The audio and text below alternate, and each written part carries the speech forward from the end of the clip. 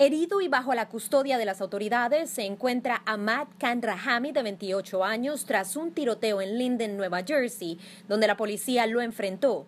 Este individuo es identificado por el Departamento de Policía de Nueva York y el FBI como el posible responsable del atentado terrorista en el barrio de Chelsea y la explosión en Seaside Park el sábado en la mañana. Asimismo, podría haber dejado cinco artefactos explosivos dentro de una maleta al lado de una estación de tren en Elizabeth, Nueva Jersey.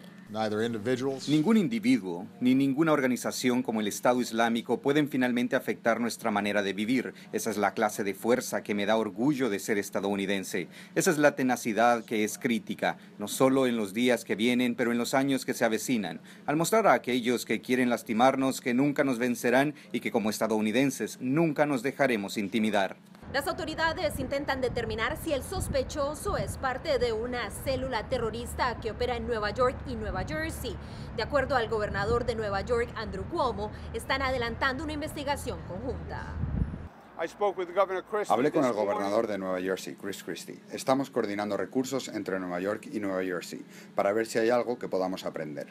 El principal mecanismo de coordinación es algo llamado Fuerza Conjunta de Terrorismo, y ellos están operando. Pero las bombas que están en Seaside parecen ser distintas de las encontradas en Nueva York. El FBI está analizando los artefactos explosivos descritos como bombas caseras en los que se usaron teléfonos celulares como detonadores. Las bombas que estallaron en Nueva York dejaron 29 personas heridas.